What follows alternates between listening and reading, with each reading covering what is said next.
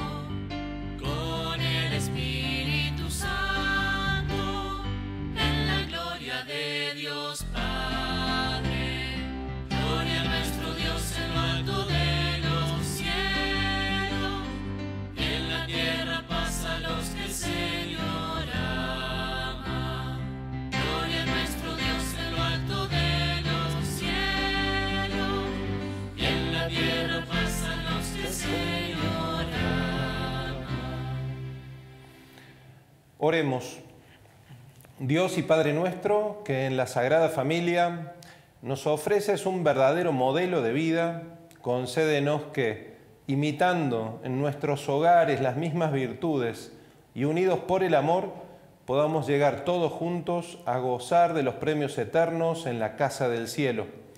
Por nuestro Señor Jesucristo, tu Hijo, que vive y reina contigo en la unidad del Espíritu Santo y es Dios por los siglos de los siglos. Amén. Amén.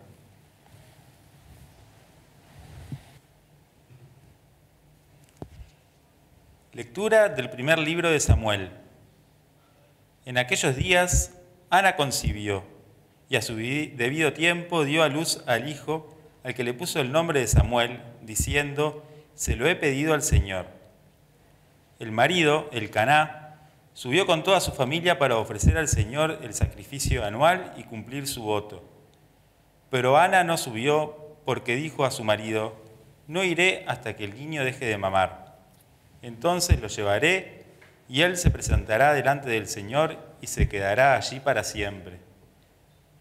Cuando el niño dejó de mamar, lo subió con ella, llevando además un novillo de tres años, una medida de harina y un odre de vino, y lo condujo a la casa del Señor de Silo. El niño era aún muy pequeño, y después de inmolar al novillo se lo, llevaron a Elí. Ella dijo, perdón, Señor mío, por tu vida, Señor. Yo soy aquella mujer que estuvo aquí junto a ti para orar al Señor. Era este niño lo que yo suplicaba al Señor y Él me concedió lo que le pedía. Ahora yo, a mi vez, se lo cedo, al, se lo cedo a Él, para toda su vida queda cedido al Señor. Después se postraron delante del Señor. Palabra de Dios. Te alabamos, Señor. Señor, felices los que habitan en tu casa. Señor, felices los que habitan en tu casa. Qué amable es tu morada, Señor del universo. Mi alma se consume de deseos por los atrios del Señor. Mi corazón y mi carne claman ansiosos por el Dios viviente. Señor, felices los que habitan en tu casa. Felices los que habitan en tu casa y te alaban sin cesar.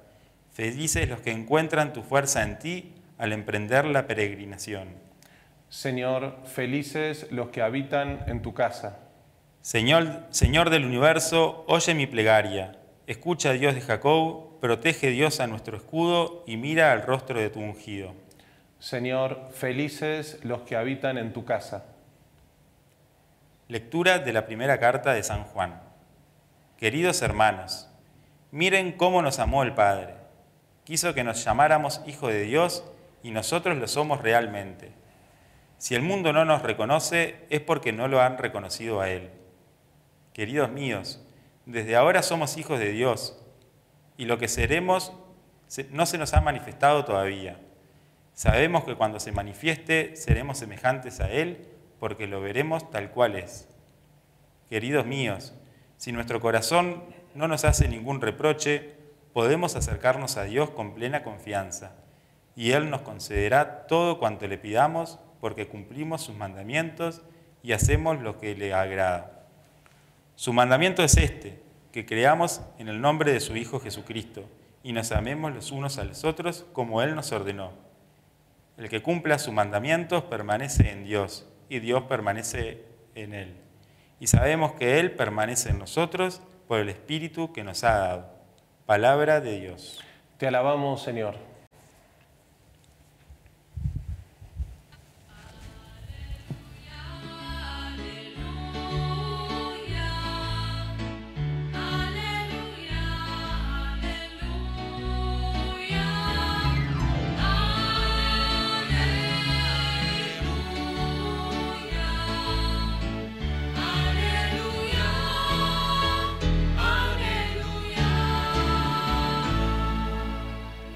Que el Señor esté con ustedes. Y con tu espíritu.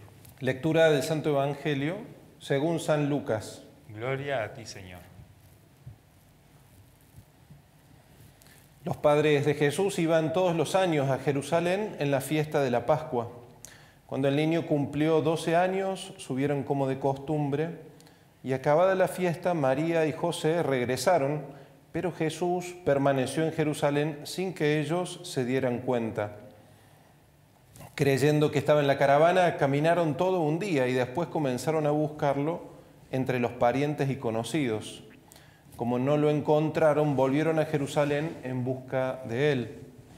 Al tercer día lo hallaron en el templo, en medio de los doctores de la ley, escuchándolos y haciéndoles preguntas.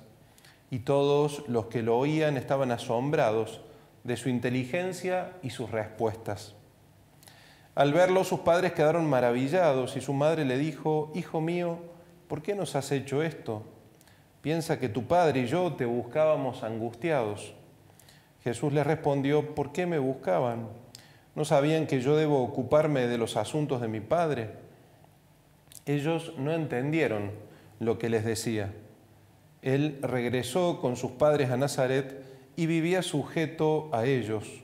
Su madre conservaba estas cosas en su corazón. Jesús iba creciendo en sabiduría, en estatura y en gracia delante de Dios y de los hombres. Hermanas y hermanos, esto es palabra del Señor. Gloria a ti, Señor Jesús. Bueno, queridos amigos, estamos celebrando hoy la fiesta de la Sagrada Familia. Lo hacemos después de haber celebrado la Navidad en el día de ayer y la Nochebuena la noche anterior. Seguimos de fiesta y así como contemplábamos al niño naciendo, hoy lo vemos en esta realidad familiar. Una familia religiosa, una familia piadosa que va a Jerusalén para la Pascua y una familia que tiene que enfrentar una primera situación de angustia, de dificultad. La pérdida de un hijo y los padres que empiezan a angustiarse, que empiezan a desesperarse, pero se ponen en camino, buscan, preguntan y resuelven, volvemos. Vuelven a ese último lugar donde habían estado juntos, en Jerusalén, y se encuentran con que el niño estaba allí en el templo. Se encuentra una situación que en un primer momento dice que quedan maravillados, pero donde le expresan al niño la angustia, la angustia. Eso que ha pasado por el corazón de estos padres después de tres días de estar buscándolo, y el hijo que le responde con total naturalidad, pero también con sumo respeto, haciéndole saber que estaba ocupado en las cosas de su padre. Creo que es un diálogo que nos hace bien para nuestras familias, porque son padres que no imponen su autoridad con rigor, sino que manifiestan los sentimientos con total naturalidad, poniendo en palabras lo que les pasa, lo que les sucede, incluso utilizando las preguntas. No es un modo entonces de invadir en la libertad de los hijos, en este caso un adolescente, no es imponer una autoridad ni mucho menos, sino hacer saber lo que la tiene el corazón de ellos y la preocupación por su hijo, una preocupación que brota obviamente del amor. El hijo lo acoge así, pero también responde con sumo respeto. Es un hijo que sabe poner de manifiesto que también late en su corazón una verdad muy honda, una referencia al Padre del cielo. Y a pesar de que los padres, María y José, no terminan de entender, el texto dice que María guarda estas cosas en el corazón y así vuelven. Es una linda escena para pensar en nuestros diálogos. A veces cuando las cosas nos cuestan, nos duelen, tenemos eh, palabras que son muy duras, recriminadoras. Qué lindo es mirar a estos padres y mirar a este hijo. Cada uno manifiesta su sentir con sumo respeto y con verdad y con honestidad y por eso hay entendimiento y no fricción y no tensión y no mal humor. No es que cada uno agarra su celular y se va para un costado, sino que buscan entonces llegar a ese acuerdo. Lo segundo que nos muestra y que es muy bello también este texto es el crecimiento. El crecimiento en el hijo. Y cuando hay crecimiento en el hijo es porque hay crecimiento en la familia y sobre todo en la pareja, en el matrimonio. Si el foco está puesto en Jesús es porque estamos celebrando el misterio de la encarnación. Este que nace en pobreza también va creciendo en la familiaridad de una unión conyugal como la de José y María, que es sumamente nutricia, que es sumamente enriquecedora, esa comunión entre ellos hace que Él pueda desarrollarse y desplegarse y, como dice el texto, crecer en sabiduría, en estatura y en gracia, delante de Dios y de los hombres. Es un día para pedir ese crecimiento, crecimiento en nuestras familias, pero en primer lugar en nuestros hijos. Nos debemos a nuestros hijos, los pastores nos debemos a nuestras comunidades, para que puedan crecer, desplegarse en gracia, en alegría, en gozo. Vamos a pedirlo especialmente por la intercesión de José, María y el niño Jesús. Que mirando también este modo, soñemos con eso que va a crecer en este tiempo de Navidad. Que ese crecimiento de nuestros hijos haga crecer también nuestros vínculos. En el caso de los matrimonios, bueno, en el diálogo, en el cariño. En el caso de nuestras comunidades eclesiales, que crezca también en una vida litúrgica bien vivida, en una oración y sobre todo en un servicio a los que más necesitan. Que así sea.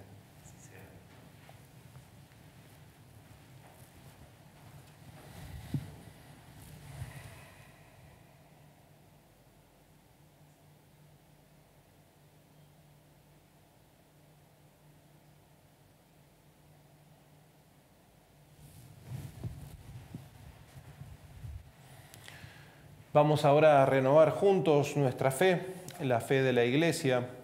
Lo hacemos en este domingo, día de fiesta, y decimos juntos, creo en un solo Dios, Padre Todopoderoso, Creador del cielo y de la tierra, de todo lo visible y lo invisible Creo en un solo Señor, Jesucristo, Hijo único de Dios, nacido del Padre antes de todos los siglos, Dios de Dios, luz de luz, Dios verdadero de Dios verdadero, engendrado, no creado, de la misma naturaleza del Padre, por quien todo fue hecho, que por nosotros los hombres y por nuestra salvación bajó del cielo, y por obra del Espíritu Santo se encarnó de María la Virgen y se hizo hombre, y por nuestra causa fue crucificado en tiempos de Poncio Pilato, padeció y fue sepultado, y resucitó al tercer día según las Escrituras, y subió al cielo, y está sentado a la derecha del Padre y de nuevo vendrá con gloria para juzgar a vivos y muertos, y su reino no tendrá fin. Creo en el Espíritu Santo, Señor y dador de vida, que procede del Padre y del Hijo, que con el Padre y el Hijo recibe una misma adoración y gloria, y que habló por los profetas. Creo en la Iglesia, que es una, santa, católica y apostólica Confieso que hay un solo bautismo para el perdón de los pecados. Espero la resurrección de los muertos y la vida del mundo futuro. Amén. Vamos ahora a traer al ofertorio todas las intenciones que hemos ido agregando y compartiendo a través de nuestra página web de www.icm.uy.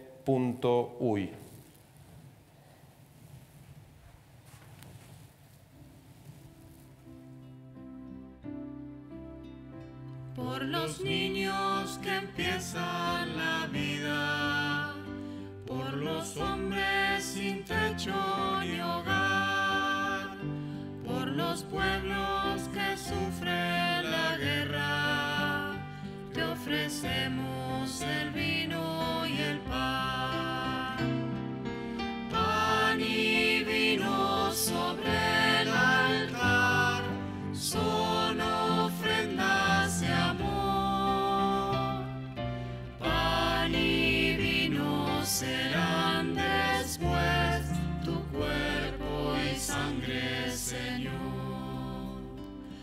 los hombres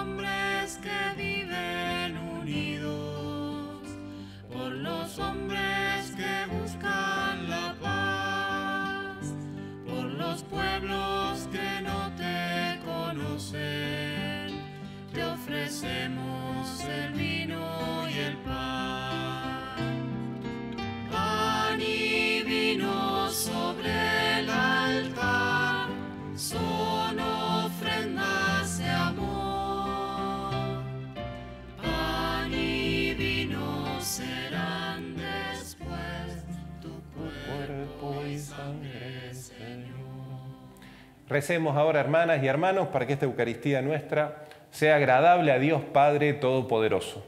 Que el Señor reciba de tus manos este sacrificio para alabanza y gloria de su nombre, para nuestro bien y el de toda su santa iglesia. Te ofrecemos, Padre, el sacrificio de la reconciliación y por la intercesión de la Virgen María y de San José, te pedimos que edifiques nuestras familias y nuestras comunidades sobre el fundamento de tu gracia y de tu paz. Por Jesucristo nuestro Señor. Amén. El Señor esté con ustedes. Levantemos el corazón. Lo tenemos levantado hacia el Señor. Demos gracias al Señor nuestro Dios. Es justo y necesario. En verdad es justo y necesario. Es nuestro deber y salvación darte gracias siempre y en todo lugar.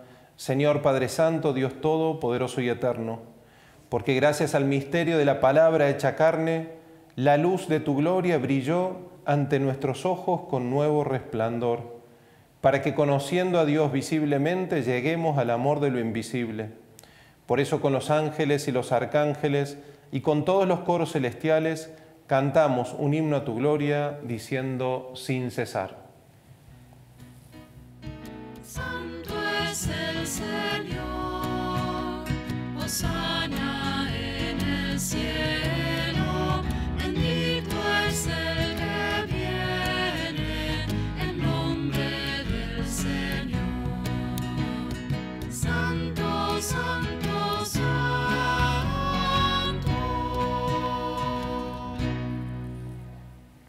Santo. Eres en verdad, Señor, fuente de toda santidad, por eso te pedimos que santifiques estos dones con la fusión de tu Espíritu, de manera que se conviertan para nosotros en el cuerpo y la sangre de Jesucristo nuestro Señor.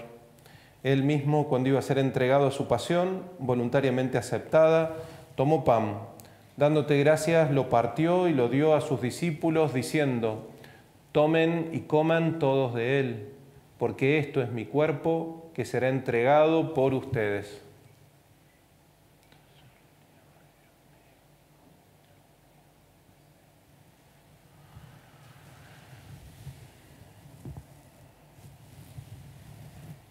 Del mismo modo, acabada la cena, tomó el cáliz y dándote gracias de nuevo, lo pasó a sus discípulos diciendo, tomen y beban todos de él, porque este es el cáliz de mi sangre, sangre de la alianza nueva y eterna, que será derramada por ustedes y por muchos para el perdón de los pecados. Hagan esto en conmemoración mía.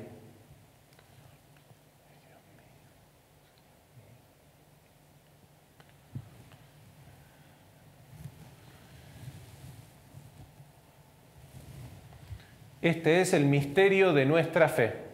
Anunciamos tu muerte, proclamamos tu resurrección. Ven Señor Jesús.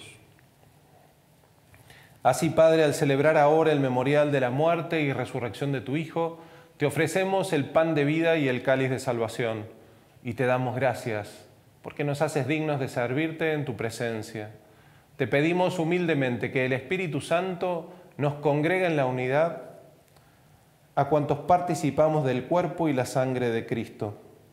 Acuérdate, Señor, de tu iglesia, extendida por toda la tierra y reunida aquí, en el día santo en que la Virgen María dio a luz al Salvador del mundo, y con el Papa Francisco, con nuestro obispo, el Cardenal Daniel, con su auxiliar Luis Eduardo, y todos los pastores que cuidan de tu pueblo, llévala a su perfección por la caridad.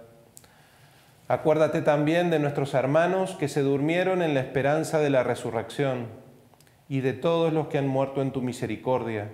Admítelos a contemplar la luz de tu rostro. Ten misericordia de todos nosotros y así con María la Virgen, Madre de Dios, con San José su esposo, los apóstoles, San Ignacio de Loyola y cuantos vivieron en tu amistad a través de los tiempos, merezcamos por tu Hijo Jesucristo, compartir la vida eterna y cantar tus alabanzas. Por Cristo, con Él y en Él, a ti Dios Padre Omnipotente, en la unidad del Espíritu Santo, todo honor y toda gloria por los siglos de los siglos. Amén. Rezamos juntos la oración de los hijos de Dios, sintiéndonos como Jesús, hijos amados y un Padre sumamente bueno y rico en misericordia. Padre nuestro que estás en el cielo, santificado sea tu nombre. Venga a nosotros tu reino. Hágase tu voluntad en la tierra como en el cielo. Danos hoy nuestro pan de cada día. Perdona nuestras ofensas, como también nosotros perdonamos a los que nos ofenden. No nos dejes caer en la tentación y líbranos del mal. Líbranos, Señor, de todos nuestros males, de nuestros enojos, de nuestras tristezas, de nuestras faltas de diálogo y comunión, y sobre todo concédenos la paz en nuestros días, y así, ayudados por tu gracia, vivamos siempre libres de pecado y protegidos de toda perturbación, mientras esperamos la gloriosa venida de nuestro Salvador Jesucristo. Tuyo es el reino, tuyo el poder y la gloria, por siempre, Señor. Señor Jesucristo, que dijiste a tus apóstoles, la paz les dejo, mi paz les doy. No tengas en cuenta nuestros pecados, sino la fe de tu iglesia. Y conforme a tu palabra, concédele la paz y la unidad. Tú que vives y reinas por los siglos de los siglos. Amén. Que la paz del Señor esté con cada uno de ustedes. Y con tu espíritu.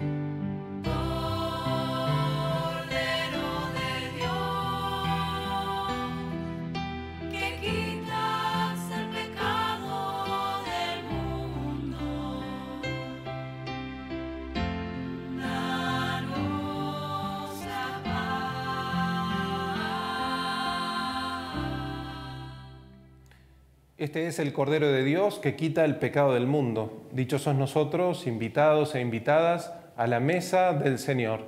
Señor, no soy digno de que entres en mi casa, pero una palabra tuya bastará para sanar. El cuerpo y la sangre de Cristo nos guarden para la vida eterna. Amén.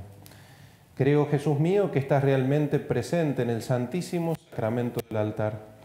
Te amo sobre todas las cosas y deseo recibirte en mi alma, pero como ahora no puedo recibirte sacramentado, ven por lo menos espiritualmente a mi corazón. Como si ya te hubiera recibido, te abrazo y me uno todo a ti. No permita, Señor, que jamás me separe de ti. Amén.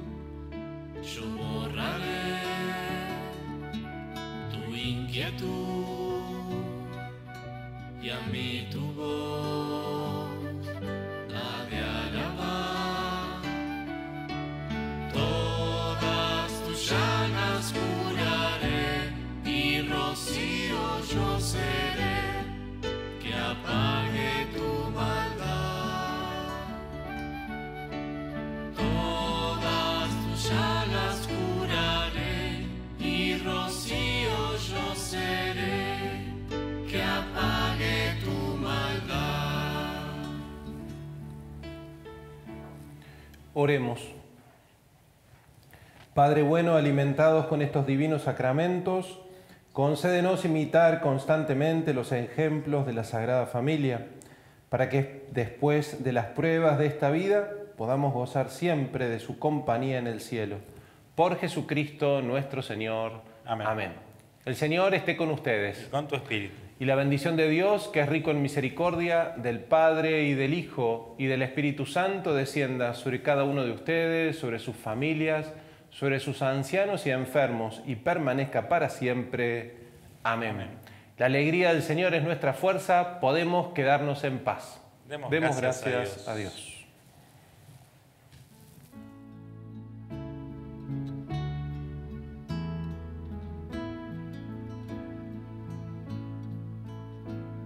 Dios te salve María, Sagrada María, Señora de nuestro camino.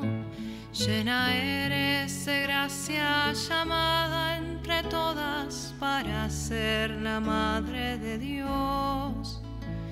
El Señor es contigo y tú eres la sierva dispuesta a cumplir su misión. Y bendita tú eres, dichosa te llaman a ti, la elegida de Dios. Y bendito es el fruto que crece en tu vientre, el Mesías del pueblo de Dios.